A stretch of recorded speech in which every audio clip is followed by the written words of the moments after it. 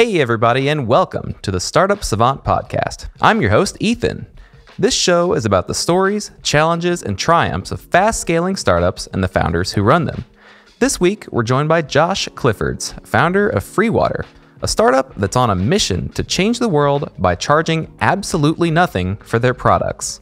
Josh is a truly interesting guy. He's got some big ideas, and what he's accomplished with Freewater to this point is pretty darn impressive.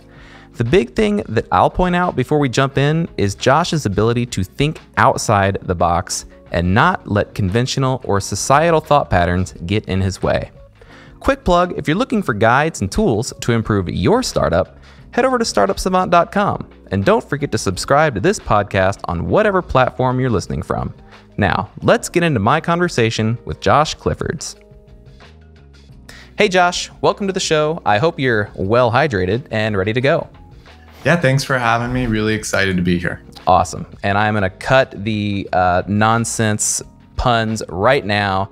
Um, but we're going to get into a really awesome story that you were just telling us uh, before we started the podcast and I probably shouldn't have let you go on as far as you did uh, because it was just awesome.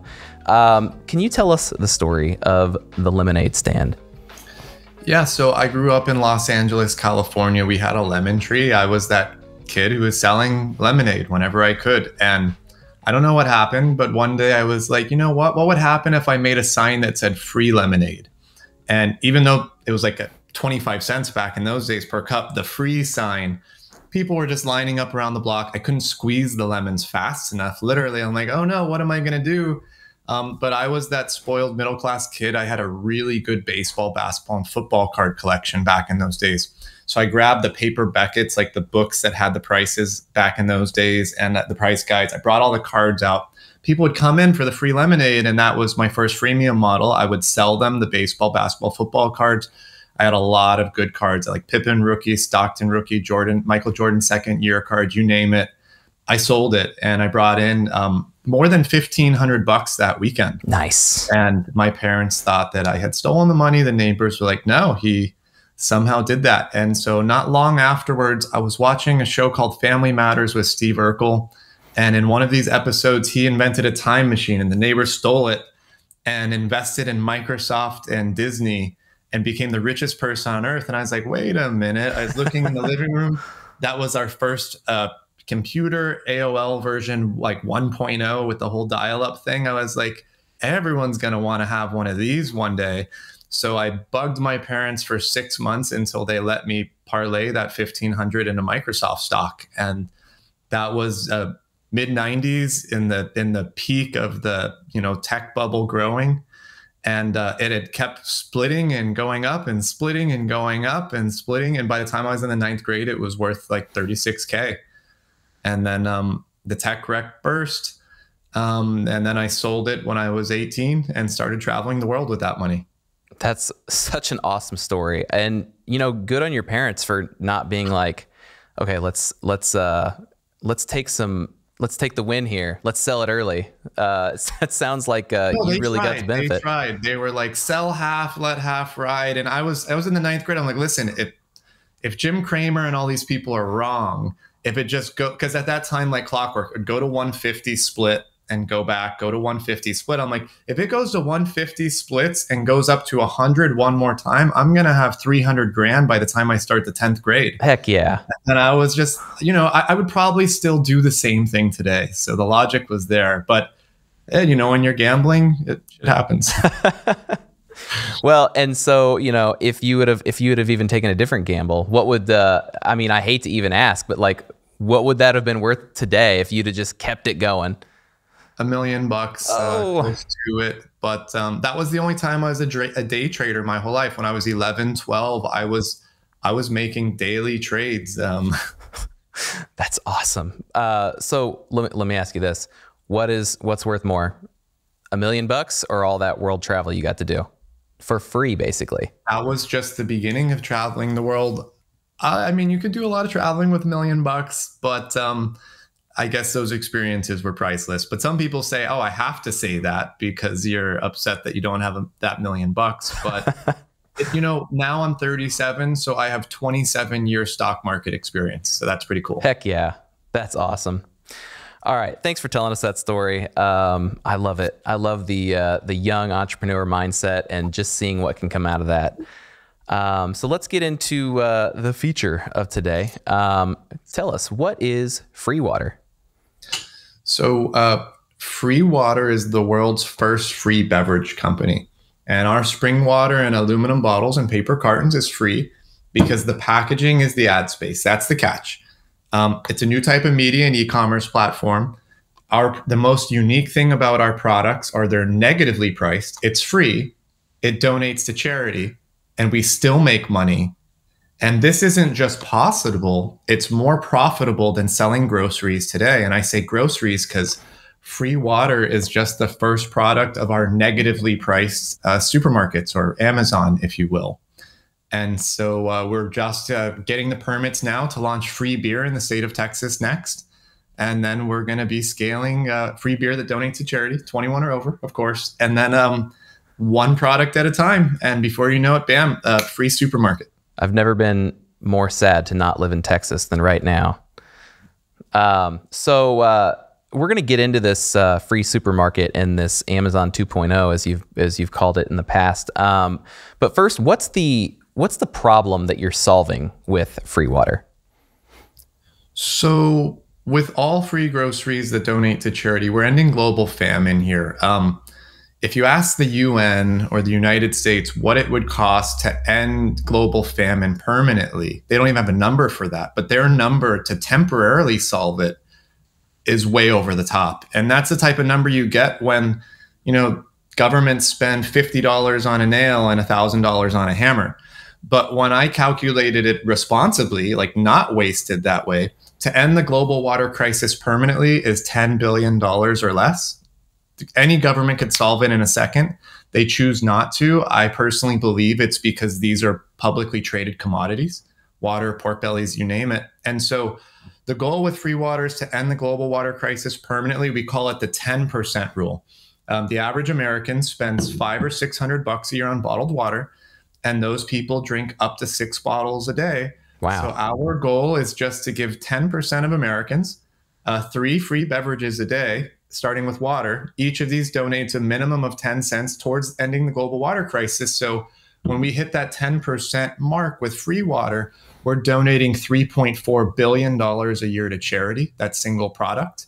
And so, in a few years of achieving that 10% milestone, we've ended the global water crisis permanently. That means building water wells and water systems for 800 million plus people around the world without a penny of tax dollars.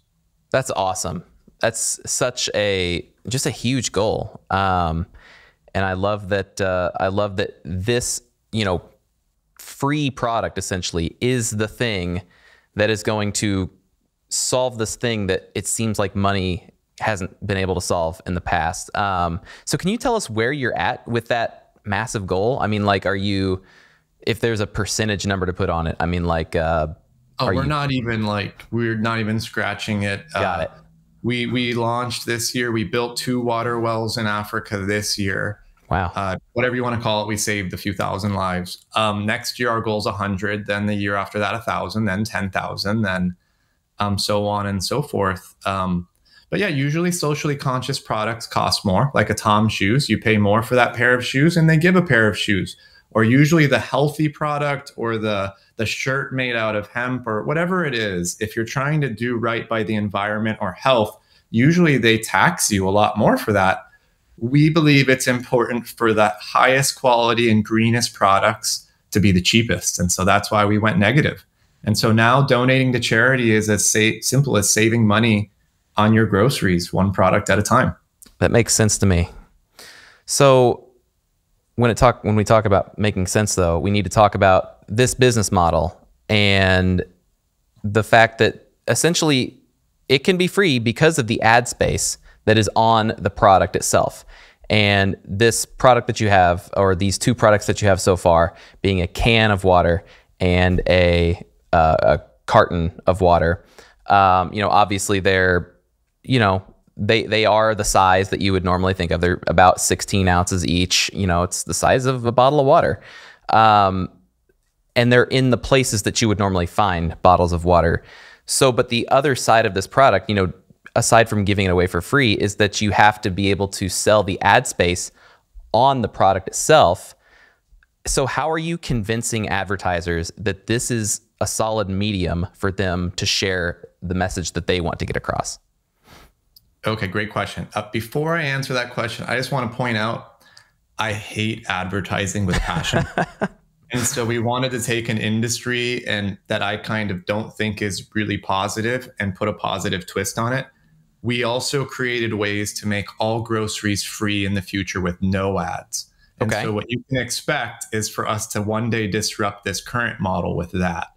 Um, and now talking about where we're at today, um, advertisers come to us because uh, we created a system where they learn about us and we can't even keep up with the inbound advertising inquiries. And so, but the future for us is all outbound B2B in the short term. We've got hundreds of billions of dollars in opportunities just sitting on the table waiting to be uh, approached. And so, right now, the problem is it's a good problem to have. We get so much traffic on our website that if you filled out the get a quote form on our website, it would currently take 10 days for us to get back to you. That's horrible. now we're putting salespeople in place to get that down to 24 hours or less.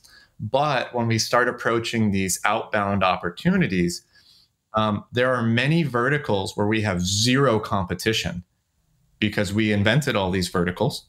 And so we're ideally going to start with the verticals where we have zero competition. You can't do water, billboards, uh, Google, none of them play in these fields.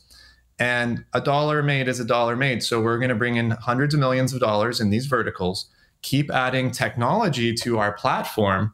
And then when we're uh, bigger, wiser, and stronger in the future, then we're going to beat Facebook, Google, and TikTok on their own on their own home court advantage.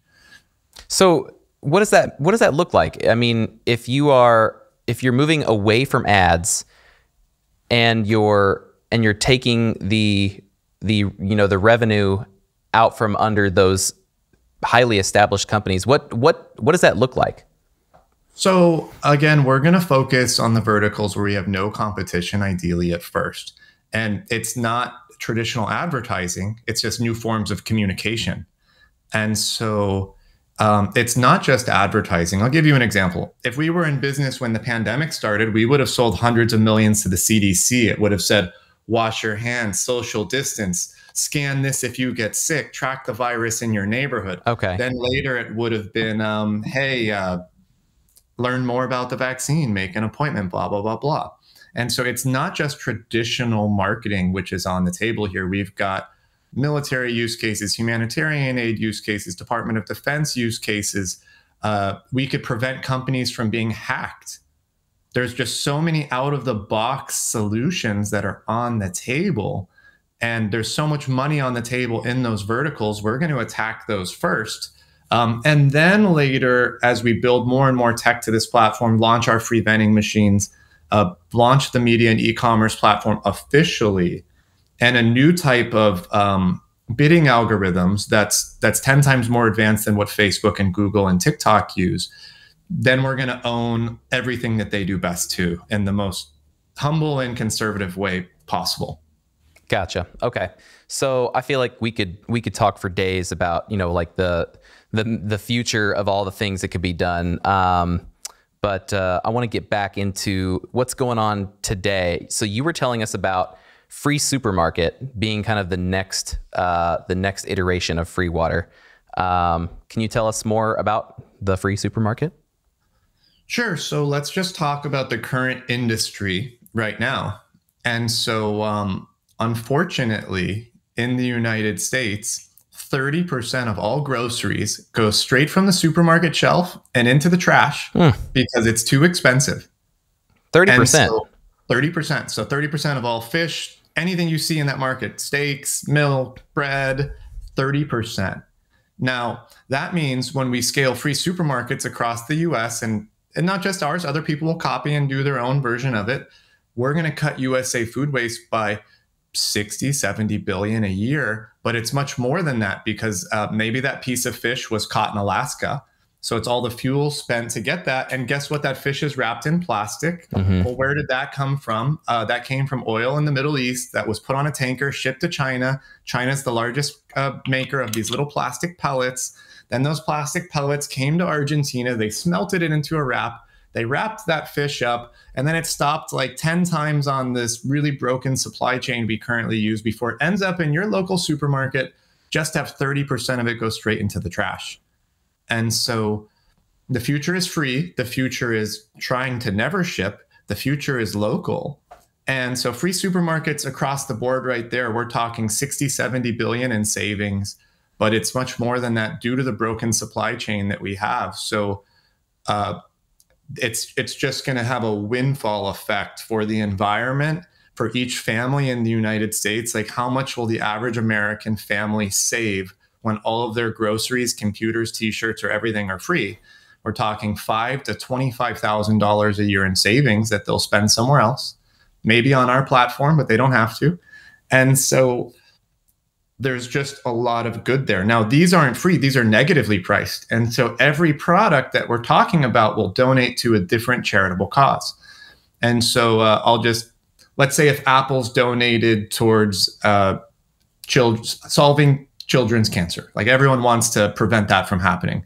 Well, when you get 10% of Americans eat one apple a day, 10 cents per apple, blah, blah, blah, blah, it's more than a billion dollars in donations to that cause.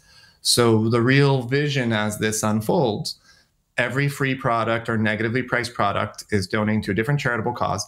These actually are not products. This is PR as a service because we're also never going to pay sales tax. You don't pay sales tax in marketing services. And so that's just another advantage that we have. Um, because products are free or negatively priced or services, whatever you want to call them, there's new ways to manufacture and distribute that are not possible when things cost money. And so the interesting phenomenon is if you combine the manufacturing and distribution of Coke, Pepsi, Nestle, Walmart, Target, Costco, and Amazon, and Levi's Jeans and Apple collectively their infrastructures couldn't do what we're going to build out because they all built them incorrectly. Or not incorrectly but for a world where things cost money. And so we're building out a new type of infrastructure that allows us to go direct to the consumer in the future in 95% less channels. And so it's that combination of these other forms of revenue that people weren't collecting due to social norms or just whatever and then the cost savings on the back end and you bake that together in a cool pie that's really philanthropic but more profitable than selling goods today. So where do the where do the products originate from? Where do they come from? You know, not where specifically, but um, you know the the the person who's fishing those uh, those salmon from Alaska and the and the people that are growing the apples um, on the on the orchards. How are they being compensated in this system? The same or more than they're being compensated today. And so, have you ever heard the expression uh, "capitalism's a zero-sum game"? Uh, I have heard that expression. So yes. that means there's one winner and one many losers, at least one loser. But we call this the giving economy, which means we earn a profit while distributing uh, products and services at a negative value proposition. And so for us, uh, it's five winners versus one winner and many losers. And so in the giving economy, the the the audience they get high quality products and services for free um, actually negatively priced. The advertiser gets their targeted desired uh, person. Uh, we donate to charity. We're the middleman so we take a slice of the pie.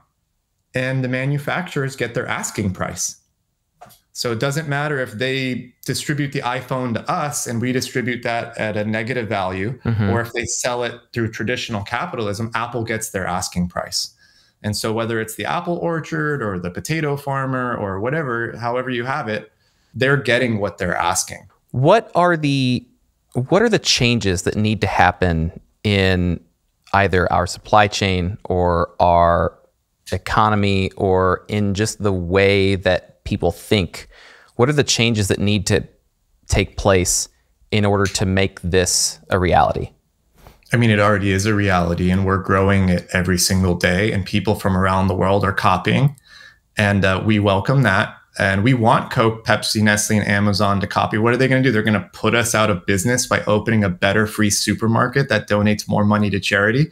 we'll save 50 million lives a year if that happened. And so we're this um okay, our products are negatively priced and we might be the first people in the world to do that, but we're more the first people to identify this new type of economy. This phenomenon already exists in software. And so back in the day on 37, we used to pay for video games and consoles.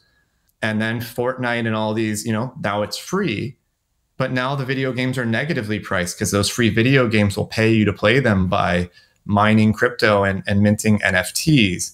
Um, you also technically, Facebook would be negatively priced. It's free, but they donate so little to charity that no one looks at them as being negative because um, most people don't look at them in a positive light. But you've got like Ecosia, it's a German search engine. It's it's free, but 80, 70 or 80% of their revenue goes towards planting trees. So that should be 170% off. And so these systems already exist in software. We just brought them to the physical world. Okay. Okay, that that makes sense. Um, so when you, you you mentioned people copying you, these other companies companies copying you. Um, that was that was a question that I had, you know, prepared. Was what's the moat um, of of this business? What what is stopping anybody else from taking this this model and just doing it for themselves? And it sounds like maybe the answer is not only is there not a moat, but we want to put up on a billboard to hey, copy us. We we want you to take this model. Um, but the question that I have from that is, what is the possibility, and then what is the case after that that a company takes this free model and then doesn't donate the you know percentage sure, of sure. of anything to the to the uh, charities what what happens if if they use the good parts of this model and then don't move into the parts that don't, you know, feed the further ecosystem? So number one, we have more moats than any company in history, but I'll get to that in a second. Um, we want the world to copy. If Coke's CEO called right now, I would help him. Same thing with Amazon or any of them, because we're trying to end global famine here. It's not a competition.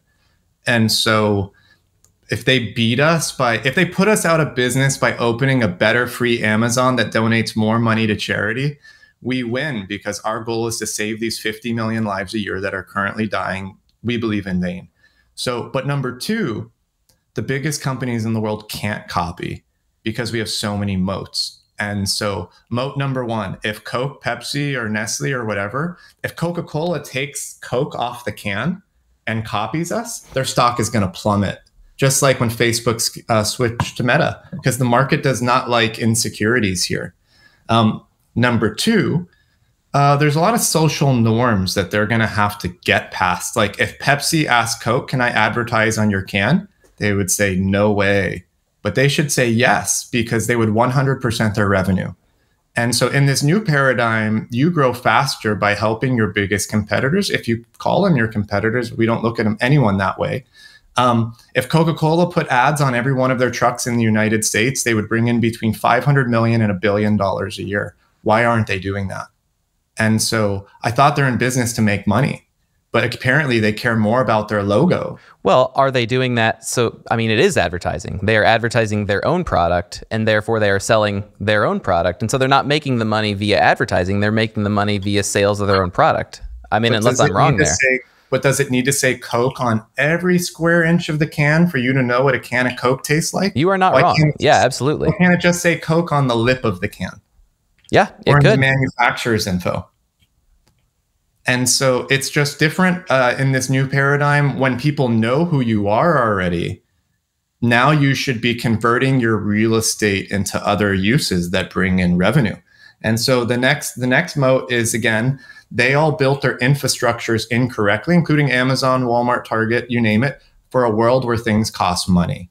And so I'll, I'll explain this. So when things cost money, uh, traditionally people have made mega mega factories and mega fulfillment centers. Think Budweiser, think Coke, think Amazon, right?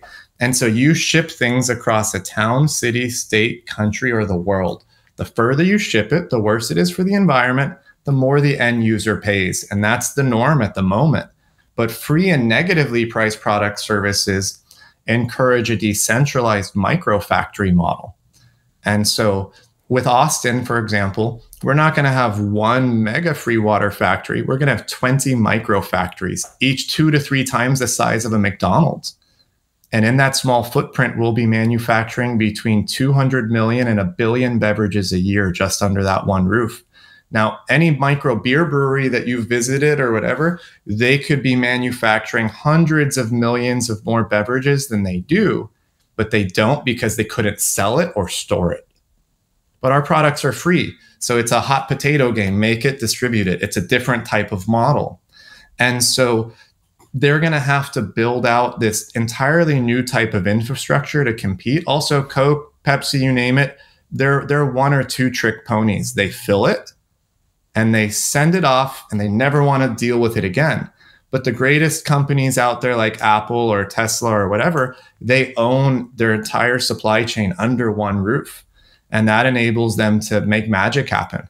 And so is Coca-Cola going to instead of being a one or two trick pony, are they now going to be a 10 like 10 tricks, 10 legs, 10 they're they're just not going to want to do it. I've spoken to the head of innovation of some of the biggest beverage companies in the United States and they're like, "Josh, we just we're never going to do that because we're so old school.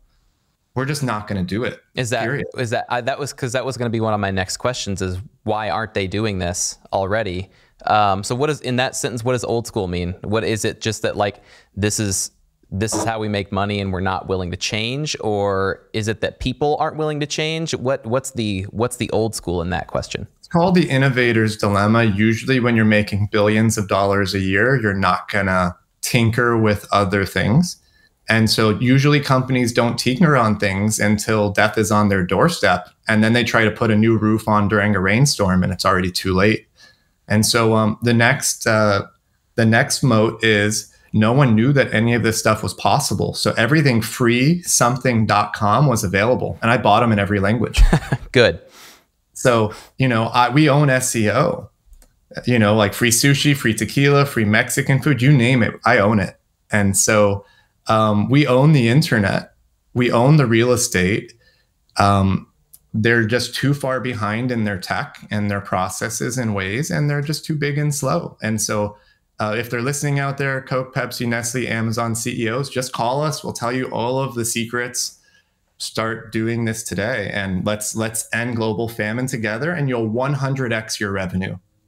Yeah, so why think, not? I think that that's. I mean, that's a that's a bold statement, but it's also if that is if that is how it would work, then yeah, I mean, let's let's race to see who can fix the world first.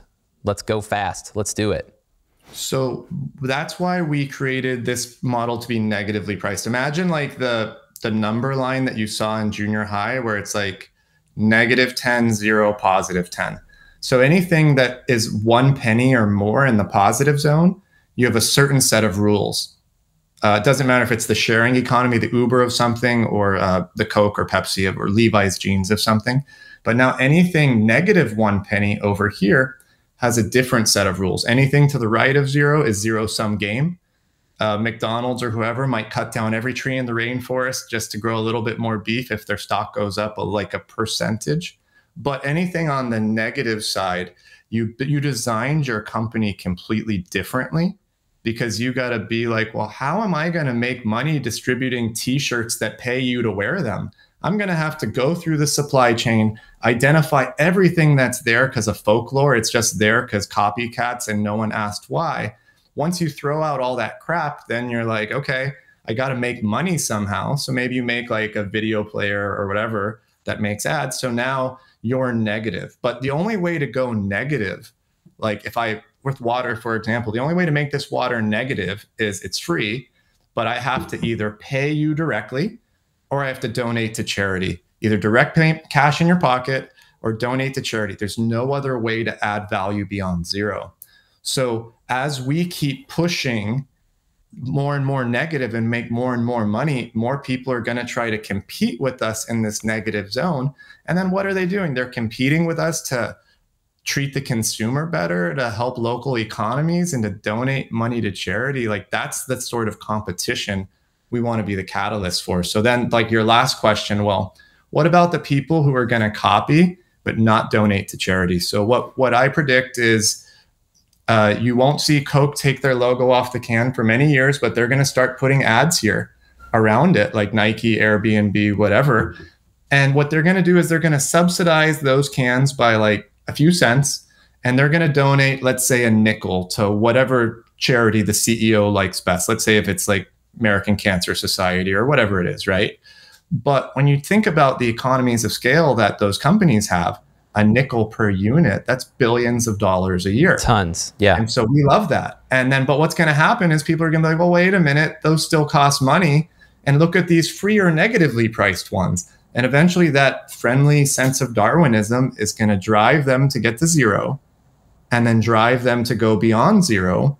And if they don't do it, they simply won't um, be able to compete because we're making Coca Cola and every supermarket free, even if they don't want it to be, because the second leg of our platform will be a TikTok and YouTube competitor.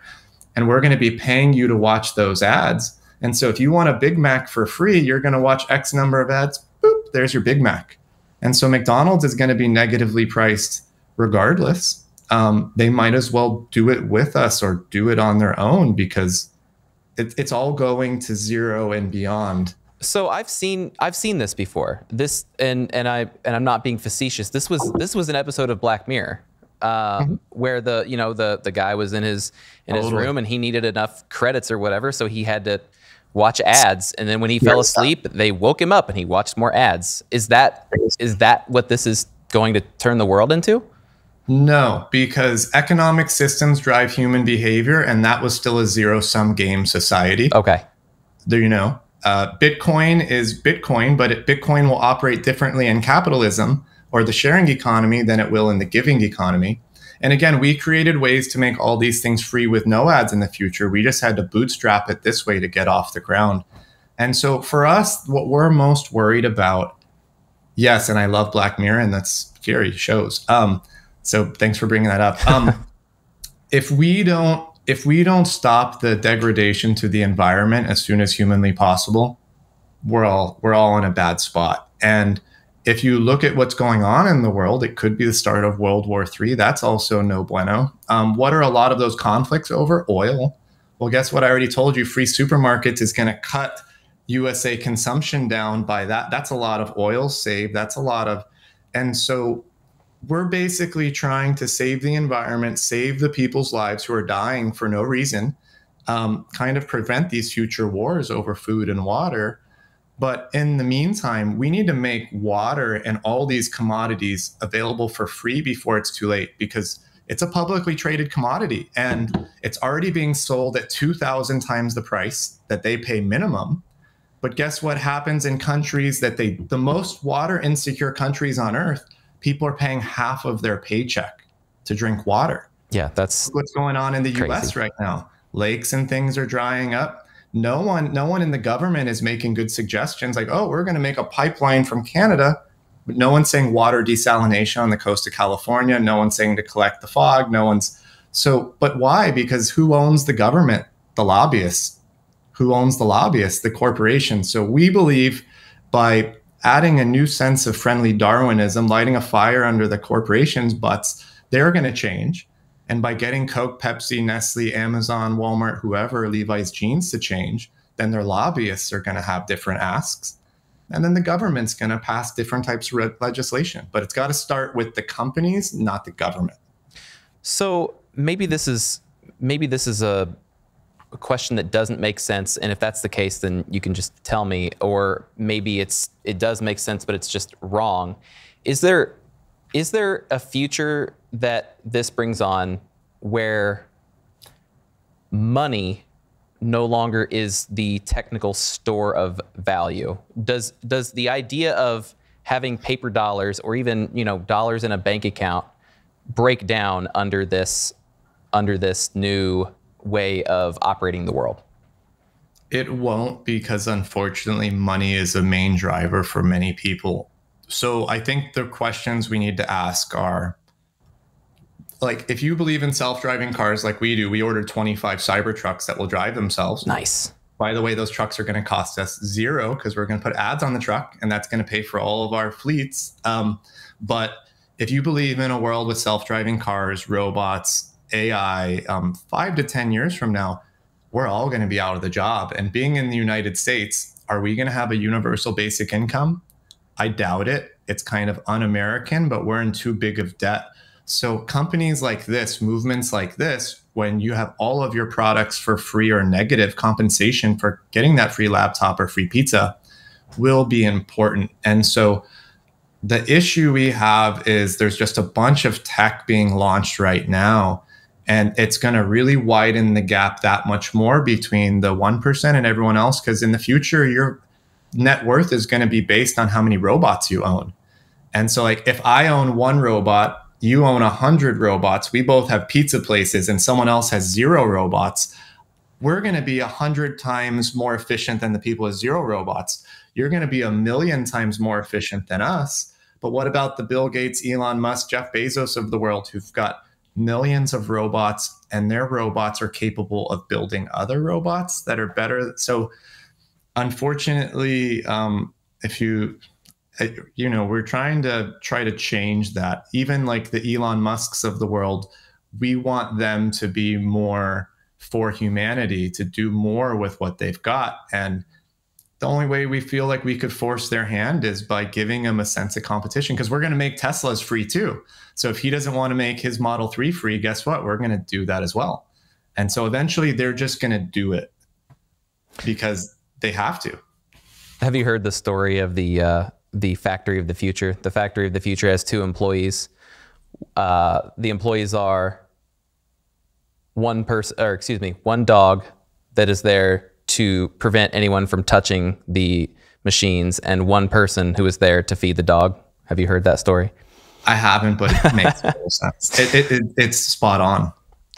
All right, let's uh, let's move out of the future for a second and move back into the past, um, your past specifically. Um, now, you said you hate ad sales, which uh, rock on because ads can sometimes feel gross, and then ads sometimes are good. Um, I'm not uh, I'm not here to be the judge on that, but do you personally have any history in ad sales or bottling or CPG sourcing? Any anything that FreeWater is currently working on? Zero. All right. How did you? How are you bringing that knowledge into the company? Because I don't just assume that um, that you know it's floating on a magical the water is floating on a magical cloud into the bottles currently. So how how did you get that knowledge into the company? So uh, hard work is the only answer. Um, so for my 30th birthday i went on a trip around the world. My goal was 100 countries in four years. And i was like a quarter of the way done with that almost. I was in rome for five minutes and I was really moved by the story of two Nigerian refugees. Their story was so sad. I canceled my trip around the world and made a nonprofit organization called Save the Refugees in Eastern Europe. And we helped more than 10,000 refugees. And speaking to those people, that's when my I my eyes were open to what's going on because 20 or 25% of them said they left their country because they didn't have water, food, or medicine. And then I was like, whoa, this is a huge issue.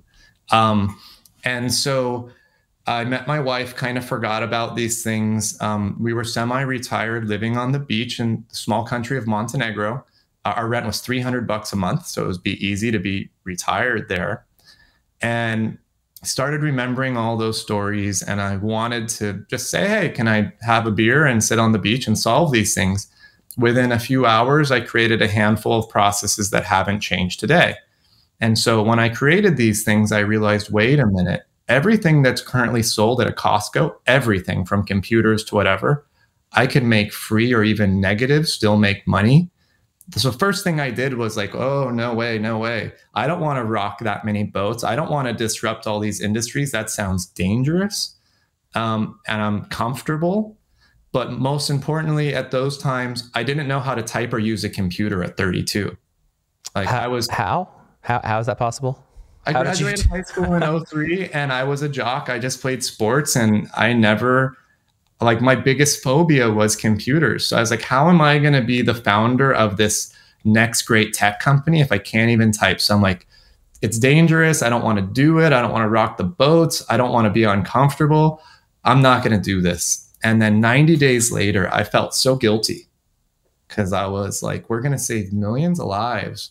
And you're not going to do it because you don't want to be uncomfortable, that you're scared that some of the biggest companies in the world could retaliate or whatever. And so from that guilt, I bought a laptop, taught, taught myself how to type.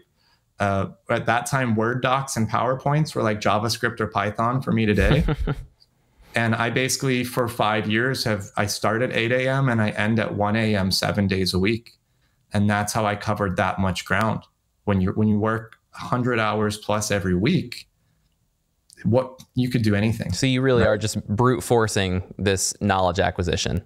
1000%. Um, I failed a million times. I had, you have no idea how many doors were slammed in my face the first 36 months. Like, it's not possible. It's snake oil. You can't make it free, let, let alone negative. Like, you know, um, but I just felt so guilty. I just had to keep pushing. I feel, I still feel guilt because I know when just 10% of Americans eat our future free groceries and use our future free products as a service, as a marketing service, we're going to save 100,000 lives a day. And so thinking about the 100,000 people that are going to die today just because I'm not saving Americans money, that bothers me. And that that bother or guilt or whatever you want to call it, that forces me to get up every day and do this.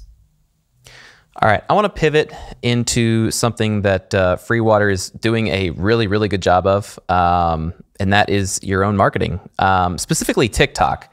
Um, on FreeWater's account, you guys have more than 600,000 followers. Uh, your biggest videos have tens of millions of views. And on average, each video gets, I don't know, like 40,000 videos or 40,000 views. I didn't do the math. It just, that's what it looked like. Um, so first off, congratulations for uh, being famous. How does that limelight feel? Uh, I wish we could do without it. I don't like being in the light, um, but um, we've created a system where we have zero dollar new customer acquisition cost. Because um, if I hand you a free water, you're sold for the rest of your life. You want free water, soda, beer, pizza, puppies, anything. Um, but the phenomenon is if you see a video of somebody getting something for free, you're equally as sold. So it's our job to give away free products. We record a fraction of those interactions, we post them. Sometimes they only get like three or four or 5,000 views. Sometimes they get 30 million views. And those people see that. The majority of those people are like, I want free stuff and I'll I'll support you. I'll sign up on the website. I'll wait for a later date. But then a fraction of those people are like, oh, I want to advertise to those people, or I want to invest, or I want to join your company. And so, like, uh, we had a video for like two or three weeks ago, and um, I think it got 20 million views, or just on TikTok, but we we guesstimate 50 million views on all platforms in the first three days. That brought 60,000 people to our website just in 24 hours. And so right now uh, we use it just as like a bat signal. Yeah. Um, and and people, it's a movement. We're not a company. It's a movement. So people see that and then they share, they support. So right now we have 780,000 followers across all platforms. Um, it's almost like we have 780,000 decentralized teammates rooting for us. And that makes everything easier. So I know it's really difficult to like take one video and understand like why was it this video that went crazy and got so many views. Um, but you all have a ton of videos and a lot of them are getting a lot of views. And I think that that type of information is more you know legible you can you can really look at the patterns and the things in the video and how you posted it and all these different you know different uh, things that go along with that video are you finding anything that is consistently driving more reach and better results with your TikTok videos? Yes and no. I'm refining it constantly. So right now we have a major video every quarter. When I mean a major video, I'm like a major, major video. Right. Um, and so some of them they're indistinguishable. Was it the sound we used, the time we posted it? Who the heck knows? Other ones, it's obvious sometimes we'll spell something incorrectly on purpose in the video. And then a bunch of people will then correct us in the comments, like, you spelled that wrong. And then that pushes it. And so, um, but what we're going to start doing is we're going to start getting one of those major videos every month. then every week, then every day, then a few a day. And so right now, we're the content creators, but we're going to turn a corner very soon um, as we start ramping up because today we're the ones filming it.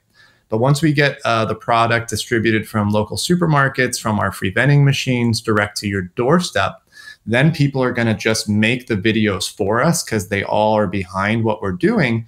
And then we get to just cherry pick those best videos and then repost them. So as we start ramping up, then I could take less and less time uh, and accomplish the same or more out of the social media and then still scale this. And so um, we've we haven't spent a penny on advertising in 14 months. Um, I used to spend money on Facebook, Google, and YouTube ads, and one 50,000 view video on TikTok showed me that a 50,000 view video equated to spending eight or 10 grand on Facebook, Google, or YouTube ads.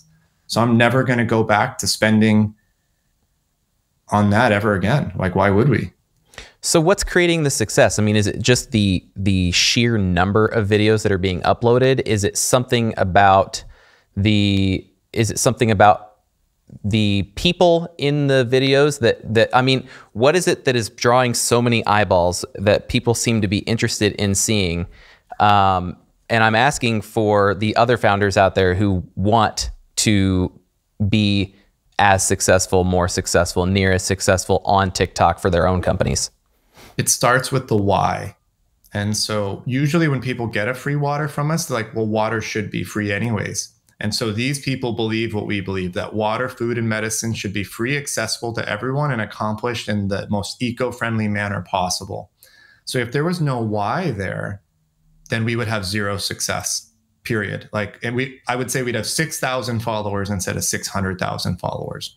So any founder that wants to duplicate it, they have to have a why that people care about. And they should probably have that anyways before they start their company because startup life is really rough but it starts with the why. Then now, um, a lot of food or beverage companies, if you look at their social media, it's like, oh, I drank this energy drink and it tastes amazing and I feel great. But we're, we're spring water. I mean, water's water. Like most products are just, they're not like it's water, right? Everyone knows what water tastes like. So, more important than having someone take a sip, like, ah, this is the best water in the world, it's their reaction to the fact that it's free, donates to charity, and not in a plastic bottle. And those reactions are for us what scales. Because um, we had one video recently with this angry European guy who's just like, it can't possibly work. Who pays the spring? Who pays for the aluminum? Who pays for the and like that video alone got picked up by some of the biggest venture capitalists and crypto people in the world. They posted it on Twitter and LinkedIn. They got millions of views. They reposted it like this guy did more due diligence on a free bottle of water than most VCs did on tech companies in 2022. He did and ask so, a lot of questions. He really did. And so it's it's the surprise on their face. It's the people always asking in like at least 10% of the videos, well, what's the catch? And then we tell them it's free because it's paid for by ads. We donate to charity and they're just like blown away. And so it's that interaction that scales. I think that's a really excellent answer.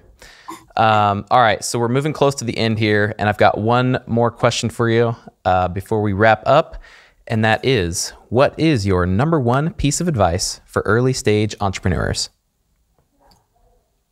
Um, I'm going to give them an odd piece of advice that most people wouldn't, and it's leave the United States or whatever country you're in and go live in a more affordable country, like go live on the beach in Thailand, Bali, Eastern Europe, uh, Costa Rica, whatever excites you. And like when I invented this, it took me more than two years to invent all this stuff. Well, when I was living in Eastern Europe with my wife, our rent was uh, between 150 and 350 a month for fully furnished apartments with all utilities and everything paid for. And so that extends your runway infinitely. And then when you're living abroad in a different country, culture, language, food, you're surrounded by unique experiences. It's exciting, it's fun. You're not worried about your rent or anything. You can't spend all of your money. And so, from that feeling of happiness, excitement, uh, unlimited runway, is when you might recreate the next wheel versus a lot of founders will be like, oh, I'm going to quit my job at Facebook or Google or wherever.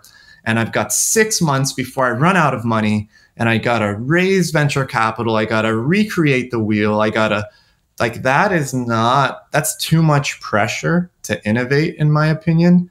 It's too much pain to sit there and really invent something well because most founders create something that's just incrementally better. And then you don't have a moat, right? And so you shouldn't make something that's just incrementally better. It should be 100x better. Right. And then they can't copy you even if they want to, just like with us. But we, we welcome it anyways. But like, so give yourself unlimited runway. Go to a place that's much cheaper than where you live. There's almost always a cheaper country than yours no matter where you're from. Um, you know, and then just give yourself time to invent, take all the time in the world. Um, make sure that the why is so important that you just can't quit, even if you wanted to. That's what happened to me because I would feel too guilty if I did. And so, if you knock all those things out, the why is something you're so passionate about. You give yourself unlimited runway and you make sure that it's not incrementally better maybe you just created the next uh, Tesla or the next water that pays you to drink it. Awesome. Excellent advice. Uh, thank you very much for coming on to the show today, Josh, um, and for sharing all of your stories and your vision. It's a huge vision. I want to see it. I want to see it happen. And we're going to add all the links and everything like that to the show notes that you can find over at startupsavant.com slash podcast. All right, everyone, thanks for tuning in to today's show. We are so glad you joined us. Quick note check out our YouTube channel, where you'll find clips, full length podcast videos, and more excellent startup content. And if you like this episode, it would be awesome if you could share it with a friend. And if you really liked it, head over to Apple Podcast and leave us a rating or review. Those two things are what grows the show and allows us to keep having these awesome conversations.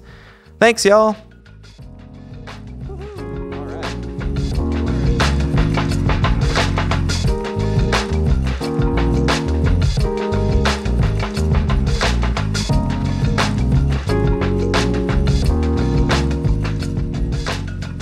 Startup Savant podcast is produced by TRUiC.